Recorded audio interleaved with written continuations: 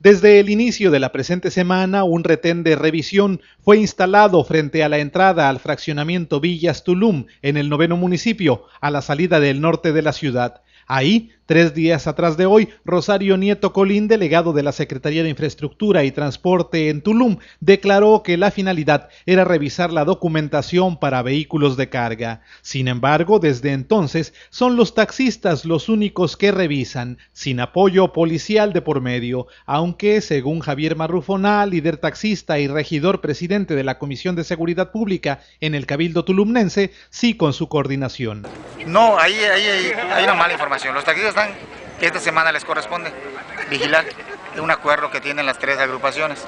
La próxima semana le tocará la UNTRAC y acompañar a los, a los, inspectores de Sintra para darle eh, que no se rompa el convenio que tenemos con ellos, que es vigilar que ninguna camioneta salga eh, vacía de acá. Es única esa su función.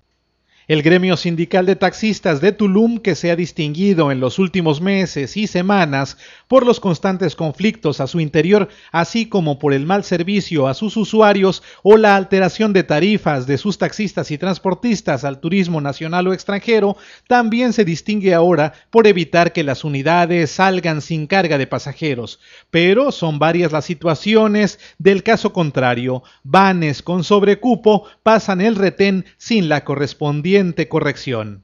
No, tampoco. Es lo que menos puede pasar. Es lo que menos puede pasar. No debe haber un caso en el que vaya personal de pie. Ninguno, en ninguno.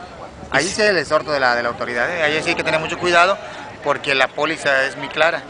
Y en dado caso que un compañero se quiera pasar de vivo llevando más pasajes, se va a meter en una gran responsabilidad.